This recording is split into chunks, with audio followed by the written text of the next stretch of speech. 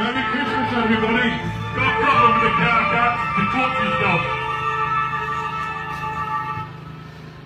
Can't stop it.